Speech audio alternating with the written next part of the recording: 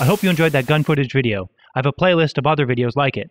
Check it out, and check out my other World War II videos, as well as a variety of other videos I have. What did you think of this video? Let me know in the comments. And subscribe because I'll be uploading lots of new interesting videos.